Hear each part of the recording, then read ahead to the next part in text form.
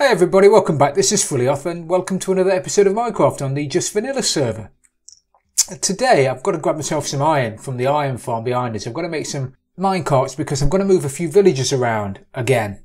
Uh, and we've had the villager breeder working for a couple of hours now, so we'll have a wander over this, see how well it's been doing. In fairness, I know exactly how well it's been doing. It's been doing great, but I want to show you.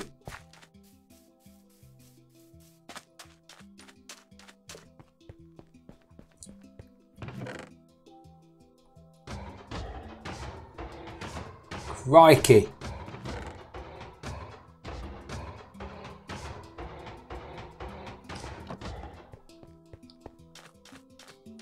That's brilliant. I've had a lot of very positive feedback about my uh, flying saucer, so thank you for that. I am very happy with it.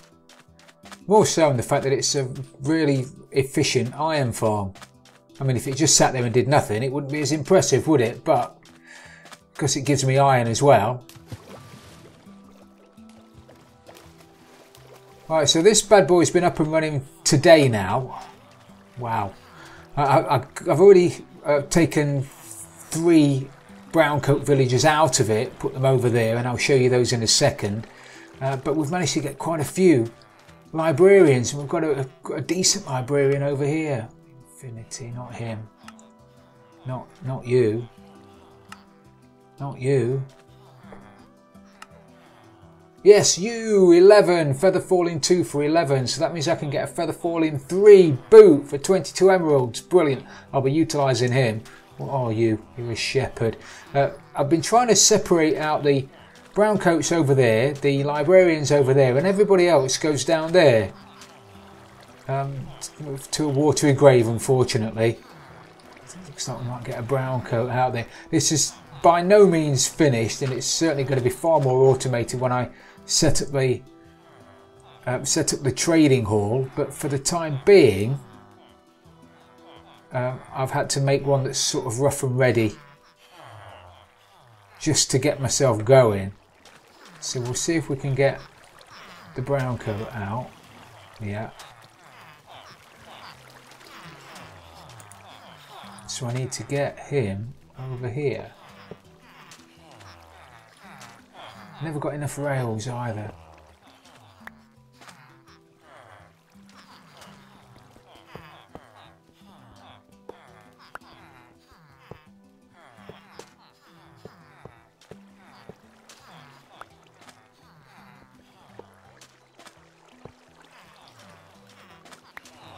So let's get you...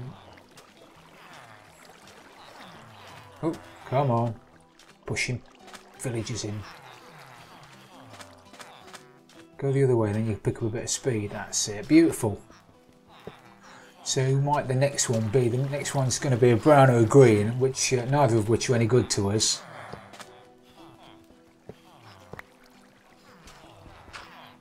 So we'll have, yeah, we'll have them going straight down. They're starting to back up as well. They it, they don't half come out quickly. Oh, changed your mind, did you? Yeah, this has been, it's super efficient. In fairness, I might turn it off for a second. Why are you coming back again? You shouldn't be able to do that. You shouldn't be able to do that. Since villagers have been able to push themselves about in minecarts, it's been causing me no end of grief.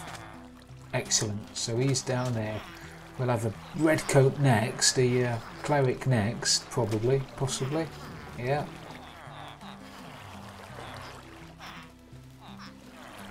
And we've got another couple of white coats.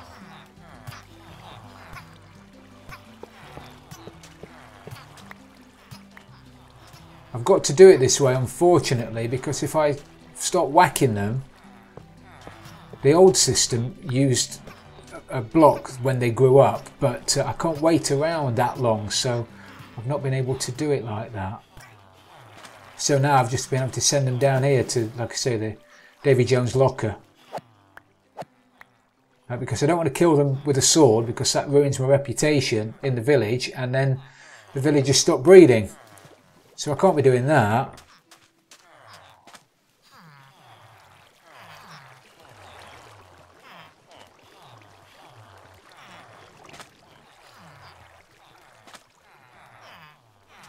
At the moment I don't know whether he's going to be a decent one or not. I'm running out of room for you fellas, aren't I? Let me just get all of these out. Uh, let me turn it off actually, I'll turn it off. I'll get the rest of these guys out uh, and then uh, we'll have a look at what, what we've done. And I'll, have a, I'll just have a shifty through all the trades as well. Okay, so we got those little fellas out, and I think only three of them went down there. Got a couple of farmers out of it, or a farmer out of it, and a couple of, of white coats out of it. Uh, I don't know whether I showed you these guys last time either. Uh, Curse of Binding, oh, actually I wish I'd have known about you before I put you there. Oh, you might have a decent trade later on. 12 for Aqua Affinity. I don't think I've traded. Actually, that's very good. 5 Aqua Affinity. I've not traded with any of these guys yet properly. So their first trades are the only ones I know about. That's not bad. Fortune 3. Quite expensive. Fortune 118. Feather Falling 2 for 13. Mm. Protection 429. Very expensive. Unbreaking 216, Not good enough because I can get them from fishing. Infinity 19. Nope. Fishing. Feather Falling 211, brilliant. I can't seem to get a Feather Falling book from fishing. I don't know whether you can, uh, but I, have got a double chest and a bit full of books, uh, and not one of them is a Feather Falling, so I'm thinking that you can't. So he, I'm going to utilise you 22 for a Feather Falling 3. Definitely, sir. I should Coco, Cartographer, you're gone. Cartographer, you're gone too a farmer and a shepherd. Brilliant. Well, needless to say, the quad pod is working like a charm. How many times in this series have I said working like a charm? Probably because at the moment everything seems to be working like a charm. So let's have a quick shifty over at the, the new farm. It's starting to take shape now. And you might remember in the last episode I told you it's going to be a big cylindrical building uh, that's the first floor being for wheat using mine rails on the bottom. That's working very well. I've stuck another farmer in there as well because one farmer on his own couldn't seem to keep up. So I've stuck another farmer and filled him with seeds, thrown him in there. He's doing a great job. They're working like a proper little team. On the second floor now, first floor, sorry, ground floor, first floor. On the first floor now, we have a couple of farmers. They're not farmers. I think one's a Fletcher, one's a one's something else. I can't remember what they are. Uh, but we've got the two of them working in unison um, to harvest carrots, uh, and they use a fantastic mechanism. A mechanism, and I'm mechanic, not a mechanism. Fantastic mechanic that I'm really pleased of with. Can't get my words out today. Uh, basically, to, for a crop to grow, uh, it needs a couple of things. It needs to be on farmland, it needs to have an air block above it, and it needs to be on a block that has got a light level of 8 or above. Now I'm using, utilising that mechanic in the fact that those two blocks there, where the farmers are standing now, and I'll call them farmers for the sake of calling them farmers because they're farming, those two blocks they're standing on have both got a light level of 7 and I've got the lights placed in a strategic way that those two blocks there have got a, everything else is is lit up enough for crops to grow, but those two have only got a light level of 7. So basically, when they try and plant onto those, uh, onto that farmland, when the block is then updated, it spits the crop out because you can't grow crops on anybody who's tried to grow crops underground. That's what happens. You probably plant it, and then a couple of ticks later, it gets spat out. Now, if we only had one block there, they'd be able to plant on there and I might be able to show you when they're not about. Because it is quite interesting, they're not going to move away. Are you going to move away as well? They'll always try and plant on there. It's another brilliant feature about this farm is that they will always keep coming back there because they'll always want to keep replanting on that bit of farm. Uh, on that bit of land. Go on, you go away. Go away for two minutes. Go and farm something for a second. Oh, you're not going to, are you? Oh, you are, right. So if I plant on there now, that won't update until the game sends it a random tick, a random block update. See, that won't automatically spit the crop out until that block gets an update. And because there's a block next to it, if I plant something there, that updates this block and it spits the carrots out and they get sucked into a minecart hopper, which I'll show you upstairs because we're going to do the same thing for the for the potatoes. But basically, these guys run around filling the inventory with carrots and, and come back here to try and plant on this land, and they never will be able to because as soon as those blocks get updated, and they update each other, which is the reason for putting two side by side, is if you, you could get away with putting the one, but it would have to wait then for the for the game to send it a, a random tick to update it. If the two are side by side, they update each other, which means you're continually getting updates and the, the, the, farmers are continually replanting the crops. Very, very clever. I am super pleased with it. So basically, I'll show you how it works here. Got myself a dropper. I'll punch this out so we can see down, but I'm going to put it back again. But the, the centre, no matter how high this building is, the centre is going to be left completely hollow. All the crops are going to fall down onto the uh, onto the rails at the bottom and get picked up by the minecart that's running around at the bottom as long as that keeps working. So we're going to need a hopper, going to need a dropper even in the right place to start with. You need a dropper there. That's going to spit anything that goes into it into the into the hole. Going to need a couple of of droppers of hoppers because that the uh, uh, the farmland that's got a light level of less than seven is going to be above it. We need to put a couple of blocks around it. This is where the hopper minecart is going to sit. And it's the hopper minecart that can suck the crop from underneath the uh, from underneath the soil. I'm sorry I'm talking again while I'm trying to concentrate and it's, I, can't do it, can I? Right, so I'll have that there and there. I need to get a hopper minecart onto this, so let's make a hopper minecart we need to put down some powered rails to put the hopper minecart on. The reason I'm using powered rails and not normal rails is I can push it very slightly.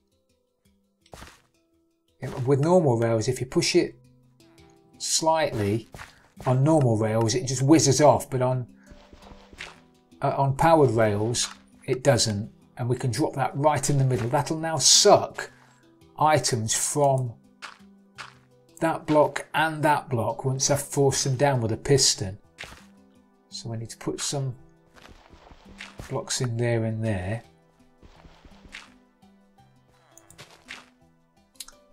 Um, do I need another one? I need another one. And then we need to get a piston in there. Like that. And then a button and force that bit of dirt down on top of the uh, on top of the minecart. You can't just put rails on top of the hopper and then a minecart on top of that um, and then try and force it down because the rails stop the dirt from going down but because there's only a minecart underneath it the blocks will go straight through it.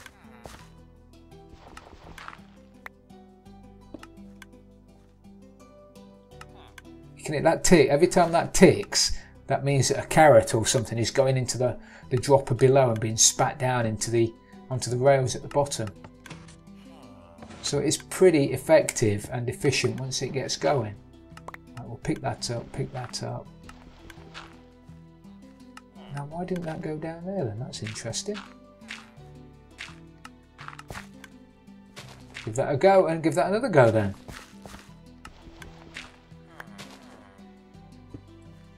Did I forget to do?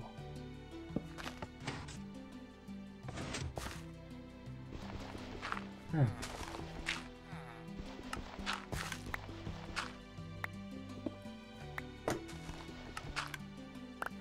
Brilliant. So now anything that goes onto that block and that block, that one and that one, is going to get sucked through into the hopper minecart. Uh, what have I got? Loads of that you can See, just go straight through. Brilliant. Uh, consequently, it'll go down into those dropper uh, hoppers and then go into this dropper. So here we're going to need to put a little clock mechanism. This is going to be surrounded by blocks as well. And that way nothing's going to fall out.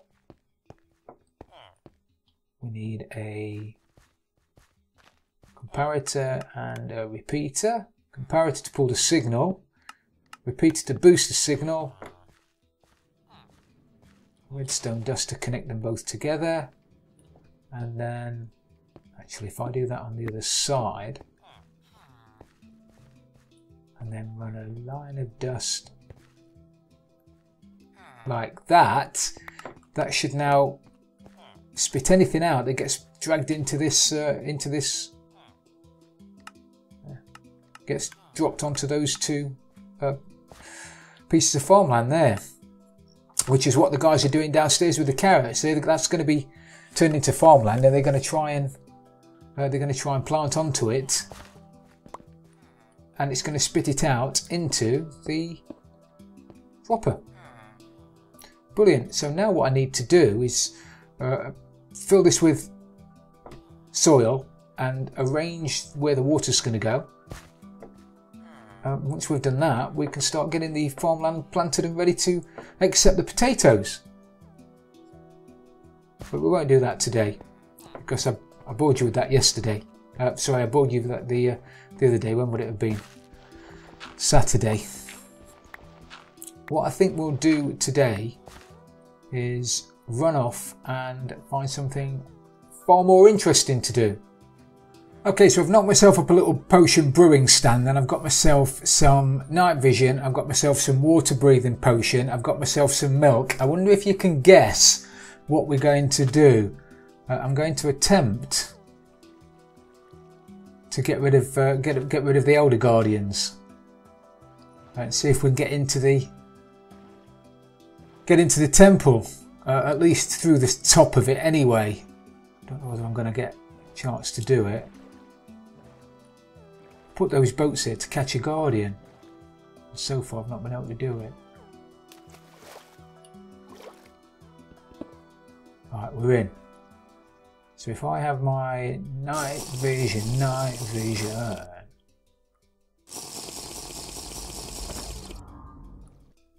Get in and beat him up.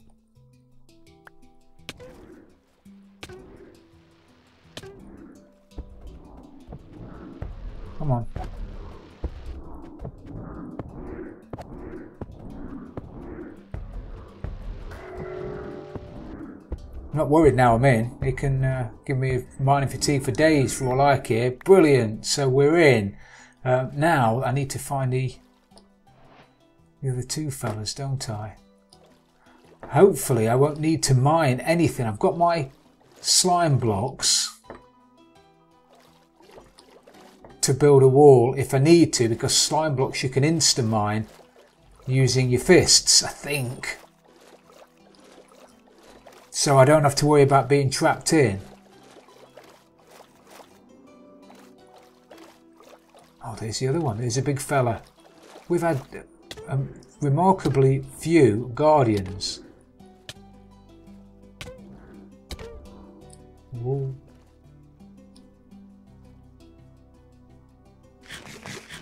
Oh, there they all are. They've all turned up. Well, they're all outside anyway.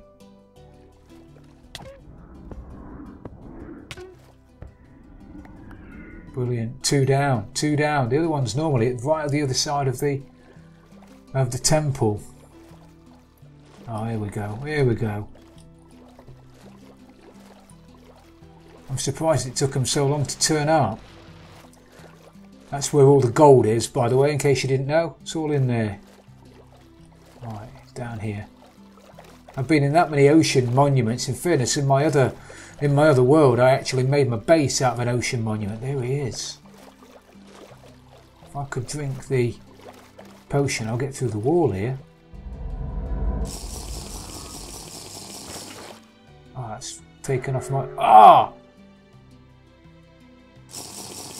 Taken off my other effects.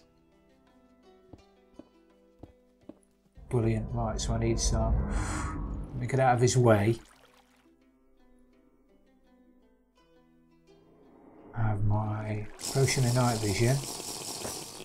Potion of water, because it takes the, the effects off. As soon as I drank the milk, it uh, took away the, the other potion effects. Oh, I can't get in. Darn it. Maybe I'll just have to... Oh, it's not done me. Oh, that's excellent. Here's me expecting to have lost the Instamind, and I haven't.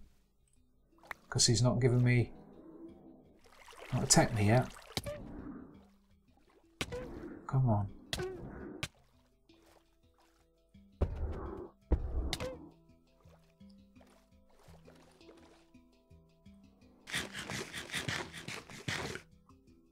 They don't half don't have a kick with thorns as well.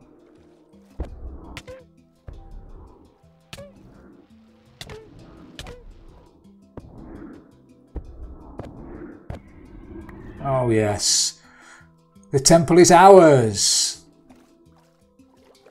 Right now I've just got to make my way out without getting eaten. Actually, I should be fine now because I don't have to worry about them uh, giving me mining fatigue anymore.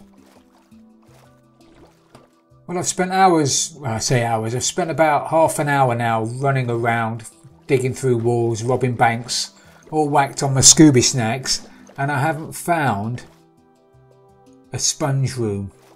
Now, not not all of them. I've, I've found temples in the past that have had massive sponge rooms. I've found temples in the past that have had no sponge rooms, and it looks like this one is a, sponge a, a uh, sponge roomless temple.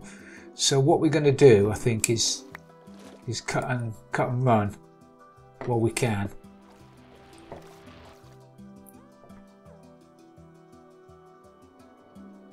I might even have to leave my boats.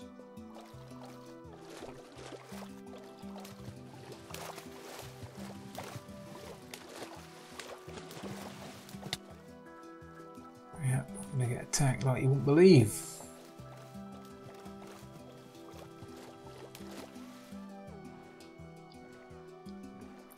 So we'll leave the boats. However, we've got ourselves a, a temple.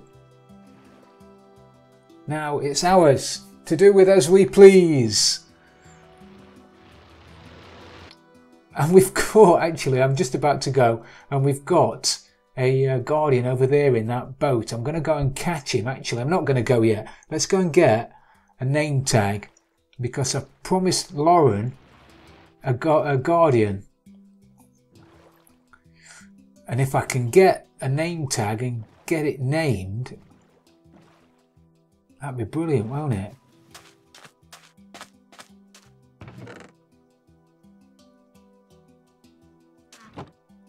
Is that my little Lauren name tag? It is my little Lauren name tag. I've even got a name tag for it.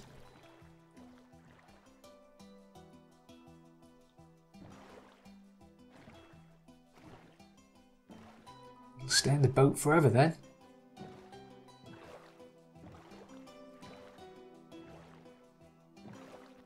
Couple in there. Brilliant. I knew it'd work eventually. Right.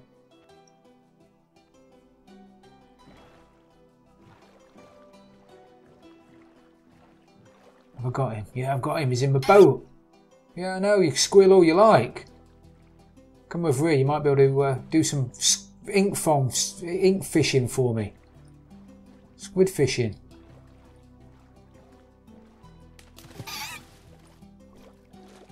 Yeah, go and whack me. See if I care. There it is. Little Lauren. So Lauren, if you're watching, we've got you a guardian. Now in theory that shouldn't go anywhere. Um, well it shouldn't go anywhere because I've, uh, I've name tagged it. So there you go, little Lauren. So we'll try again. Thank you very much for watching everybody. It's been brilliant having you along as usual. If you have enjoyed the episode, please don't forget to leave it a like. It really does mean a lot. And if you've loved it, don't forget to subscribe for future videos. This is Frilioth with Little Lauren, and I'm out of here.